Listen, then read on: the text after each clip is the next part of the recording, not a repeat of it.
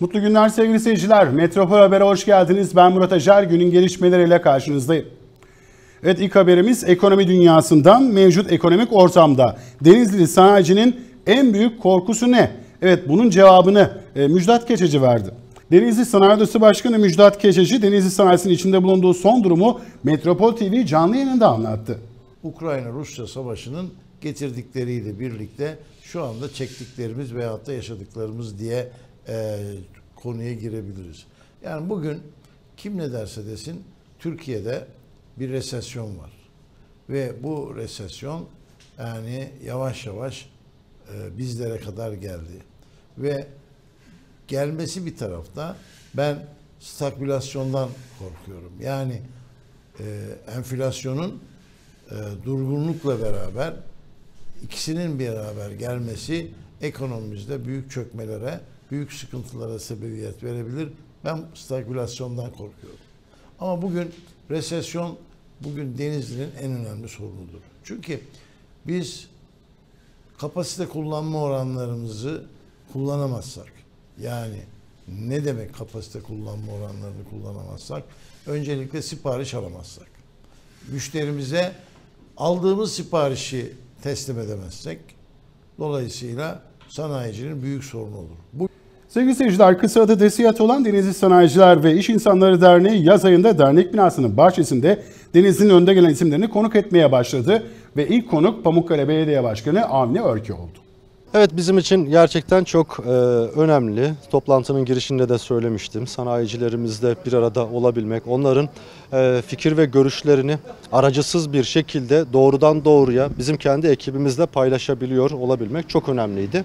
Sabırlarından dolayı katılımcı olan iş insanı arkadaşlarımıza da e, çok teşekkür ediyorum. Kıymetli başkanımıza da e, bize böyle bir fırsatı tanıdığı için yine ayrıca teşekkür ediyorum. Evet, DESİAT'ın bahçe sohbetlerinin ilk konuğunun Pamukkale Belediye Başkanı Avni Örki olduğunu az önce söylemiştik. Ve bu söyleşide, bu söyleşinin ardından Metropol TV'ye özel açıklamalarda bulunan DESİAT Başkanı İbrahim Şenil ise DESİAT olarak tüm belediyelerimizle işbirliği yapma arzusundayız diye konuştu. Denizli'nin ileri gelenleri, kanaat önderleri, Denizli'nin e, mahalli yöneticileri ve Denizli hakkında istişarede bulunmamızın kıymet kazandıracağı isimleri davet etmemizin programlandığı toplantıların ilkiydi. E biz malum e, dernek binamız Pamukkale Belediyesi sınırları içerisinde. E, Avni Başkan da benim hem şahsen e, geçmişten de tanıdığım, istişareye açık olduğunu bildiğim bir yerel yöneticimiz. E, biz bölgede neler yapılabilir? Denizli Sanayici ve İş İnsanları Derneği Pamukkale Belediyesi'nin yatırımlarıyla ilgili nerede nasıl konumlanabilir? Hem bunları aktarmak hem günübirlik sorunlarla ilgili üyelerimizin dertlerini aktarabilmek adına e, bir araya gelmeyi amaçladığımız bir toplantıydı. Çok verimli geçti. Açıkçası e, süre yetmedi. E, daha yani bir iki saat daha konuşsak sanıyorum ancak konuların üzerinden geçecektik. Ama bugünün somut çıktısının şu olduğunu söyleyebilirim. Pamukkale Belediyesi sınırları itibariyle Denizli'nin turizm potansiyelini oldukça yüklü miktarda karşılayan bir belediye. Metropol TV'de Metropol Meydanı programına katılan Pamukkale Üniversitesi Rektörü Profesör Doktor Ahmet Kutluhan, Pamukkale Üniversitesi'nin bu yıl 30. yılını kutlayacaklarını ve 30. yıla özel 30 temayla bu kutlamanın yapılacağını söyledi. Pamukkale Üniversitesi tabii pandemiyi bir fırsat bildi. Pandemide tüm dersler online yapıldı. Dolayısıyla tüm hocalarımız ders materyalleri oluşturdular. İlgili konunun daha iyi anlaşılması için videolar yaptılar ve bunların hepsi bizim e, dijital sistemimizde kayıtlı. Bilgi işlem dijital sistemde kayıtlı. Dolayısıyla eğitim öğretimde öğrencimizin önceden dersine bakma imkanı var. Bu da onlar için büyük bir avantaj oldu. Çok başarılı bir dönem geçirdik. Ancak mezuniyet törenlerinde gördüğümüz husus şu, kız öğrencilerin daha başarılı olduğu.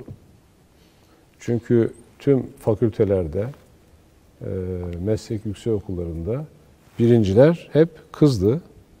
E, bir e, fakültede birinci erkekti. Dolayısıyla ben erkek öğrencileri biraz çalışmaya davet ediyorum. Denizli turizmcilerin uçak isyanı.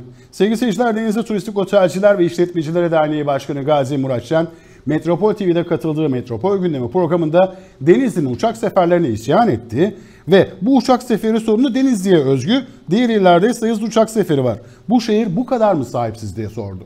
Gerçekten ben e, buradan e, milletvekillerimize bir kere daha sesleniyorum. Onlardan hiçbir gayret görmüyoruz.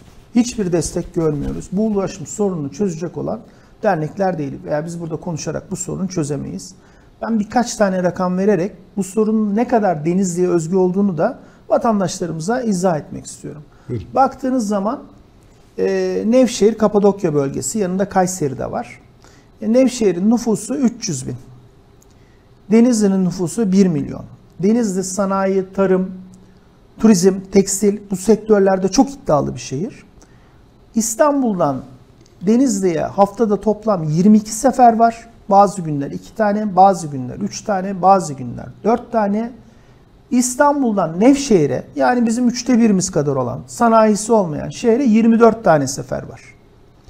Gelelim onun yanındaki Kayseri'ye.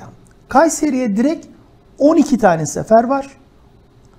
Aktarmalı olarak da 18 sefer var.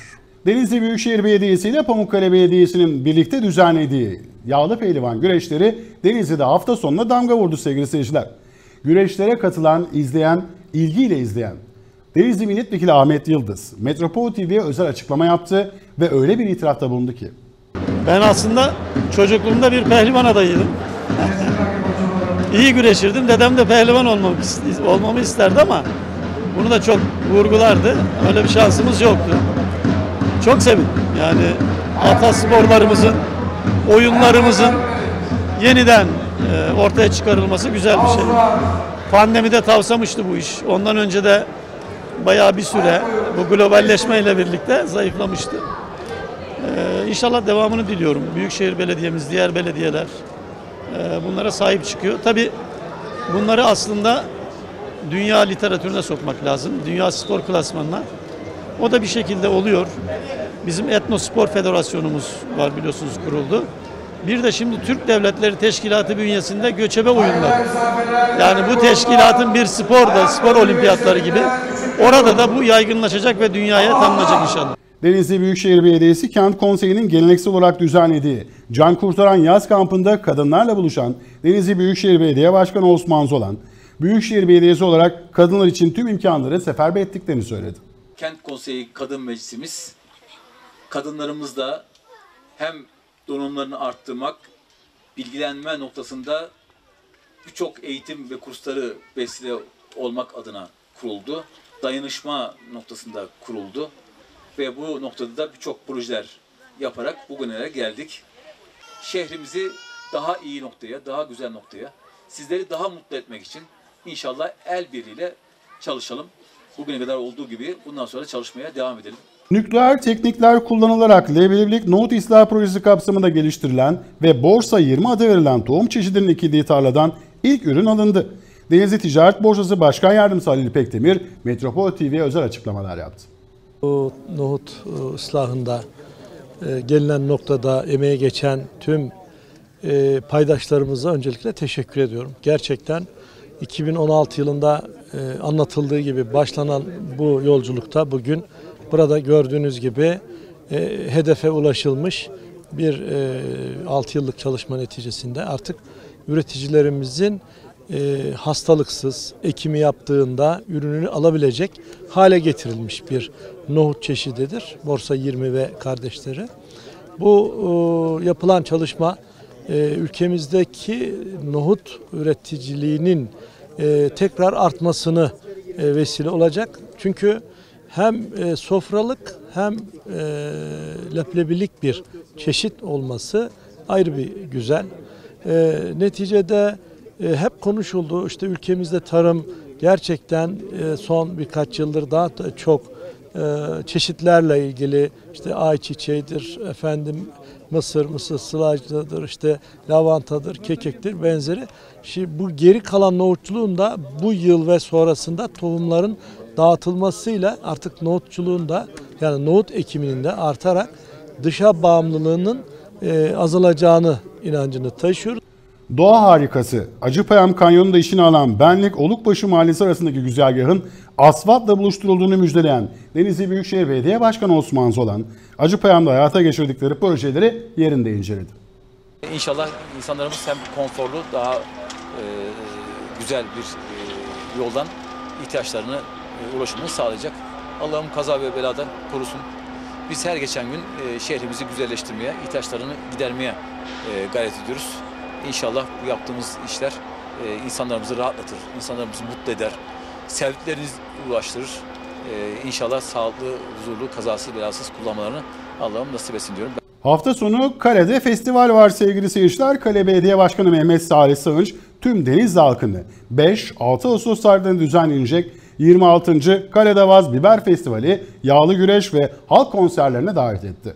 Evet, bu sene 26.sını düzenlediğimiz geleneksel Kaledavaz Yağlı Pehlivan güreşlerimiz e, ve e, Biber Festivalimizi gerçekleştiriyoruz.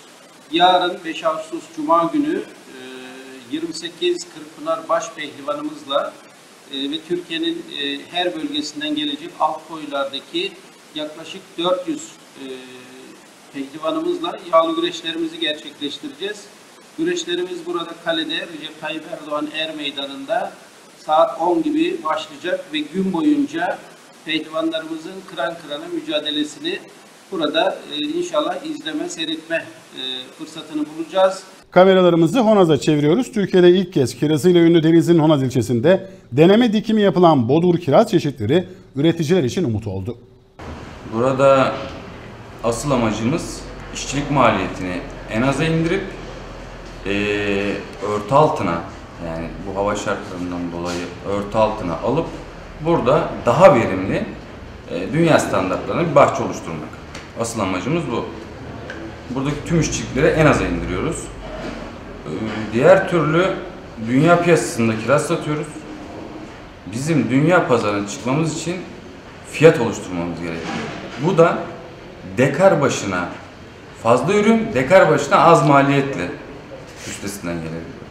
Sevgili seyirciler, haber bültenimizin sonuna geldik. Dilimiz döndüğünce sizlere haberleri aktarmaya çalıştık. Metropol TV'den ve Metropol Haber'den ayrılmayın diyoruz.